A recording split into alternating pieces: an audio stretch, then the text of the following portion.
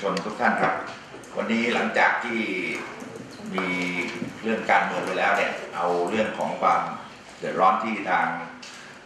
กรุงเทพมหานครนะฮะซึ่งตอนนี้กำลังมีการทดลองการเดินเรืออยู่ในคลองแสนแสบนะครับ จากวัดศรีบุญเรืองไปถึงตลาดมินบุรี ทีนี้น้ำไม่ต้องพูดนะฮะน้ำตอนนี้สูงมากนะครับ น้ำสูงมาก แล้วก็การระบายน้ำในช่วงนี้เนี่ย ก็คงจะต้องเร่งระบายน้ำเพราะว่าในเขตพื้นที่ตะวันออกเนี่ยแถวมินบุรีเนี่ยน้ำเริ่มเจิ่งน้ำเพราะน้ำทางเหนือเริ่มลงมานะครับ แล้วก็มีปัญหาหลายคลองซึ่งปรากฏว่ามีผักตบชวาจำนวนมากนะครับ ซึ่งยังอยู่ในคลองเดี๋ยวผมเอาเรื่องผักตบขึ้นมานิดหน่อยนะฮะแล้วเดี๋ยวท่านสสพลภูมิจะเสริมต่อนะฮะอันนี้คือผักตบชวาที่ยังไม่ได้รับการดูแลแล้วก็ลอกออกนะฮะในเขตหลายพื้นที่ซึ่งผมตอนนี้ไปถ่ายมา นะครับ ซึ่งก็เป็นหน้าที่ของกรุงเทพมหานคร ส่วนเรื่องที่พี่น้องประชาชนที่ยืนอยู่ด้านหลังผมนะครับ แล้วก็นั่งด้านซ้ายผมเนี่ยที่มีเรื่องร้องเรียน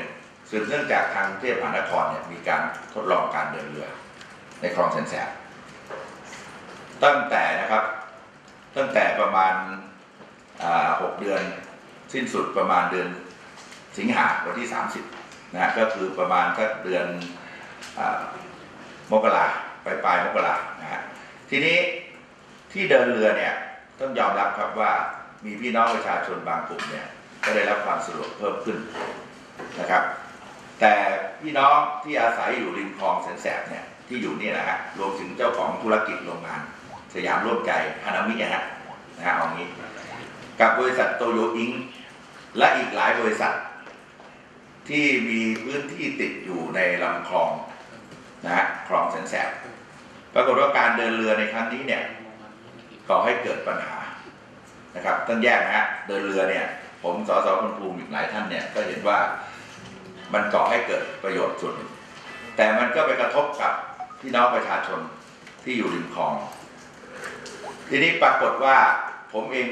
ได้จัดงานวันอนุรักษ์ภูคลองคือวันที่ 20 กันยา แล้วก็มีการตกแต่งคลอง เอาต้นไม้เอาอะไรไปลงเต็มคลองนะฮะ พื่อที่จะเป็นสู่การท่องเที่ยว ในช่วง 4 กิโลจากประตูระบายน้ำบางชันถึงประตูระบายน้ำแสบๆผลปรากฏว่า ผมได้เชิญนะครับเมื่อประมาณ 4-5 เดือนที่แล้วเนี่ย เชิญกระทรวงเอ่อเทินทางกรมนะฮะอ่อกรมที่ดูแลกรมอ่อกรมเจ้าท่านะฮะที่มีหน้าที่ที่จะดูแล ในส่วนของอตลิ่งต่างๆ และให้อนุญาตกรุงเทพมหานครในการเดินเรือท่านที่ปดีไปดู แล้วก็ท้ายที่สุดก็เชิญรัฐมตีพร้อมนะฮะไปดูครั้งหนึ่ง รวมถึงวันที่ 20 เนี่ยรัฐมตีว่าการกระทรวงมหาดไทยก็ไปดู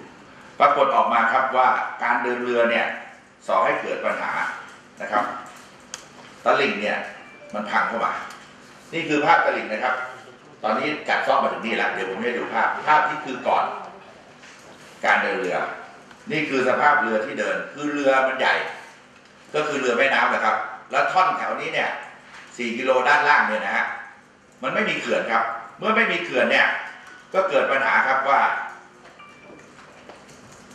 มันก็พังครับ นี่คือต้นผู้ละหงที่ผมปลูกไว้ โดยพวกเด็กโรงเรียนต่างๆ ไปปลูกเพื่อที่ให้มีแนวทางสวยๆงามๆนะฮะสุดท้ายพอเดินเรือเนี่ย สภาพตลิ่งเนี่ย มันพังครับ นี่ฮะ มันกัดซาะจนกระทั่ง หมดสภาพ นี่ฮะ เข้าไปหมดล้วจากภาพเมื่อกี้นี้ นี่ฮะนะ เข้าไปใต้ ใต้บ้านเลย นี่คือรั้วนะฮะ นี่เข้าไปใต้เลย ใต้รั้วบ้าน ขณะนี้เป็นอย่างนี้เป็นจำนวนมากนะฮะ เป็นจำนวนมากจนกระทั่งชาวบ้านเนี่ย เขาก็ รวมตัวกันว่ากรุงเทพมหานครเนี่ยเดินเรือครั้งนี้เนี่ยไม่ได้ขัดขวางนะฮะแต่มันกระทบกับคนที่อยู่อาศัย แล้วก็ยังไม่มีเขื่อน ผมเองเนี่ยได้จัดกิจกรรมวันที่10วันรักษ์ภูคลอง ก็เลยไปปักครับ เอาเสาเข็มไม้เนี่ยไปปักกันตลิ่งพัง แล้วไปขุดดินเนี่ยมาใส่ท่านเห็นไหมฮะเอาแซแลนปู แล้วก็เอาดินใส่ พอดินใส่ปุ๊บเนี่ยในช่วงที่ช่วงที่มันกัดซอกเยอะ แต่ไม่สามารถที่จะทำได้หมดทั้งคลองฮะไม่สามารถทำได้หมดทั้งคลอง เพราะว่ามันใช้เงินมหาศาลนะฮะนี่ขนาดนี้เนี่ยลงไปปลูกทั้งต้นไม้ทั้งทั้งตัวเอ่อไอไอตัวเสาเข็มต่างๆ ที่ไปทำเองนะฮะอยู่ประมาณเกือบสามล้านบาทขออนุญาตเรียนนะฮะนี่คือสภาพที่เราไปทำและชาวบ้านบางจุดก็ทำเองเพราะทนไม่ได้มันพังกัดเซาะตลิ่งจนหมดนะนี่คือเนี่ย หลังจากที่ปักแล้วจะเป็นอย่างนี้นะฮะรถก็เอามากดเข็มนะฮะรถก็ดำเนินการกดเข็ม จะเห็นว่ายืนภาพเหล่านี้เนี่ยคือการทำงานและการแก้ไขตลิ่งซึ่งถูกกัดเซาะแล้วก็บ้านคนต่างๆ เนี่ย ก็พังทลายลงมา ต้นไม้ที่ลงไปเนี่ยฮะไปสู่การท่องเที่ยวเอายอเอาอะไรไปลงเนี่ย หายหมดนะฮะ ผมก็เลยวันนี้เนี่ยกับทางส่วนหนึ่งเนี่ย บริษัทสยามร่วมมิตรเขาก็มีคำแจ้งความว่าเขาได้รับความเสียหายจากการเดินเรือ ในคลองแสนแสบนะฮะคุณชุติการกับคุณปรีดาปรีดา คุณปรีดานี่เป็นเอ่อเจ้าของบริษัทนะฮะคุณชุติการก็เป็นกรรมการที่ทำงานอยู่ นี่คือสภาพของโรงงานที่พัง แล้วก็เข้ามาในตัวตัวใกล้กับตัวอาคารนะครับ ก็มีการแจ้งความขณะนี้เขาก็เอาไม้อะไรไปปักเท่าที่ทำได้ แต่ผมกราบเรียนว่าเรือทั้งหมดก็ยังคงวิ่งอยู่ความเสียหายอย่างนี้เนี่ยนะครับ มีคำร้องจากชาวบ้านอีกชุดหนึ่งแล้วก็ร้องมาตั้งนานแล้วครับร้องมาประมาณสามสี่เดือน แต่ก็ยังไม่มีการหยุดเดินเรือนะผมขออนุญาตเรียนว่า เรื่องนี้ได้ทำหนังสือถึงรัฐตีพร้อมไปเมื่อวันที่หนึ่งกันยารัฐตีพร้อมก็ลงมาดูตรวจฮะทราบมาว่ากรมเจ้าท่าเนี่ยเมื่อวานนี้ผมประชุมกรมเจ้าท่ากรมชลประทานกรุงเทพมหานครโดยสำนักการระบายน้ำและสำนักงานเขต และรวมถึงส่วนราชการที่เกี่ยวข้องที่เข้าลงไปดูตลิ่งคลองนะฮะไม่ว่าเทคนิคมินบุรีเทคนิคการจนาพิเศษ และโรงเรียนต่างๆ ก็มีความเห็นครับว่าให้ผมเนี่ยในฐานะ สสและฐานะประธานชมรมคนรักเมืองวินที่จะต้องดูแลคลองดังกล่าวเพื่อให้คงสภาพ ต้นไม้ใหญ่ๆล้มหมดฮะต้นจามปูอายุ4 5 0ปีล้มอยู่ในคลอง ไปดูกันได้ครับ เราจะสร้างคลองให้เกิดธรรมชาติ เราจะอนุรักษ์คลอง แต่ปรากฏว่าเรือตอนนี้มันวิ่งมันพังหมดฮะนะผมเซ็นหนังสือทำหนังสือถึงท่านผู้ว่า เมื่อวานนี้ก็ได้นำเรียนท่านผู้ว่าด้วยวาจาไป นะครับ แล้วก็นำเรียนเรื่องนี้ให้กับท่านประหลัดได้ทราบผมเกรงว่าท่านผู้ว่าเองอาจจะไม่ได้รับรายงานจากผม หรือพี่น้องประชาชนที่เดือดร้อน ก็เลยต้องมาขออนุญาตใช้สื่อประสานไปยังท่านผู้ว่าว่า เราเองเนี่ยไม่ประสงค์นะครับ ในการขัดขวางการเดินเรือ ขออนุญาตนะฮะพวกผมไม่ประสงค์ที่จะขัดขวางการเดินเรือ แต่ถ้าจะเดินเรือในขณะนี้ยิ่งน้ำเต็มตลิ่งนี้นะฮะ ต้องให้เรือที่เดินเนี่ย ไม่ใช่เรือชนิดและประเภทนี้ เพราะเป็นเรือที่เอามาเดินเป็นเรือแม่น้ำถ้าเป็นเรือสองตอนที่มีใบพัดหลังนะฮะเรือหางยาว ซึ่งตอนนี้ในคลองสัมวาแถวมินบุรี ก็ยังมีเดินอยู่ฮะสามสี่สิบลำเขาก็ไม่ได้ก่อให้เกิดปัญหาตลิ่งพัง แต่ขณะนี้เนี่ยเรือที่มาเดินเนี่ย มันไม่ใช่เรือที่จะเดินในคลองมันเรือที่เดินในแม่น้ำถ้าอย่างนี้มันต้องทำตลิ่งให้เรียบร้อยก่อนก็คือเขื่อน ผมทราบมาว่าทางกรุงเทพมหานครได้ของงบประมาณเนี่ยทำเขื่อนไว้ ได้เงินมาประมาณสักร้อยกว่าล้านร้อยกว่าล้านก็ไม่พอครับ เพราะความยาวเฉพาะท่อนมินบุรีท่อนเดียวเนี่ยสี่กิโลสองข้างแปดกิโลเนี่ยเอาแค่มินบุรีอย่างเดียวนะครับ เข้าเขตพื้นที่มินบุรีไม่รวมคณะยาว ไปถึงวัดศรีบุญเรืองเนี่ยยังไม่ได้ใส่เหมือนกันบางช่วง ถามว่าตรงนี้เนี่ยใช้เงินงบประมาณไหมครับ ไม่ต่ำกว่าเป็นพันล้านที่จะเดินเรือ และในสถานการณ์อย่างนี้เนี่ย คนที่เดือดร้อนคือชาวบ้าน ชาวบ้านเดือดร้อนครับ ไม่เชื่อถามดูได้ ผมเองสสพลภูมินะ ก็เลยจะต้องมาเรียนชี้แจงกับพี่น้อง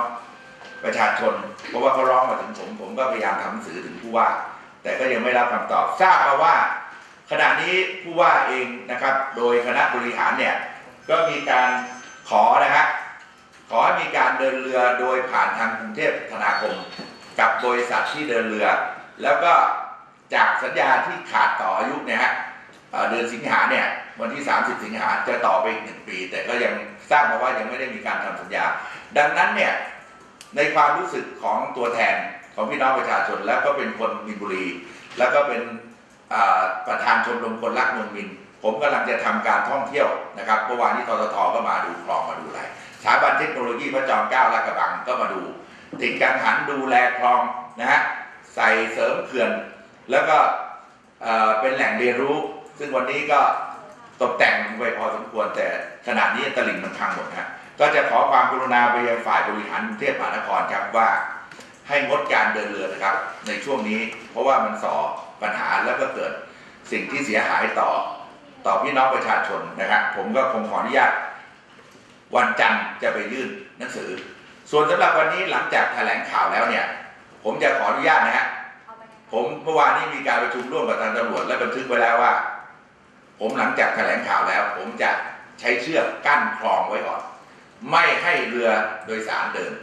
เนื่องจากว่าในที่ประชุมนั้นทุกฝ่ายมีความเห็นว่าควรให้กรุงเทพมหานครระงับการเดินเรือในช่วงนี้นะครับ ในช่วงจากมินบุรีไปถึงตลาด เพราะคำนบเขื่อนต่างๆ มันเสียหาย นะฮะแล้วก็รวมถึงโรงงานอุตสาหกรรม ซึ่งตอนนี้ก็ได้ได้แจ้งความทางเทพมหานครว่า สาเหตุที่ทำให้เกิดความเสียหายตรงนี้เข้าไปกระทบต่อการการเดินเรือไปกระทบต่อโรงงานของเขาเนี่ยจะดำเนินการดูแลและแก้ไขอย่างไร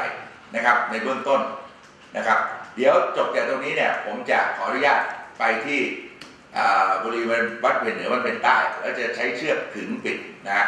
ผมก็ได้แจ้งเบื้องต้นด้วยวาจากับทางผู้ในการเขตในที่ประชุมไปแล้ว กับทางทางตำรวจก็แจ้งแล้ว เพราะว่าเป็นความเดือดร้อนเขามีการแจ้งความ แต่ถ้ายังมีการเดินเรือนะครับ ก็จะทำความเสียหายเพิ่มมากขึ้น ก็จะขออนุญาตนะครับแสดงสัญลักษณ์โดยการปิดนะเอาเชือกขึงไม่ให้เรือวิ่งผ่าน เพราะว่าเป็นเรือที่มีอ่ากำลังสูงมาก แล้วก็เป็นเรือซึ่งเดินในแม่น้ำมากกว่าที่มาเดินตรงนี้ ในระหว่างที่กรุงเทพมหานคร ยังไม่มีการทำตลิ่งหรือป้องกันตลิ่งที่พังนะครับ เบื้องต้นอะเชิญทางผู้เสียหายครับที่แจ้งเพิ่มเติมนิดหนึ่งครับก็